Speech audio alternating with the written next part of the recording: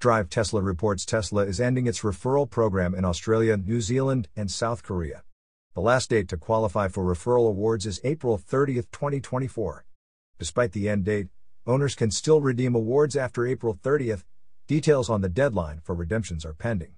No changes announced for North America yet.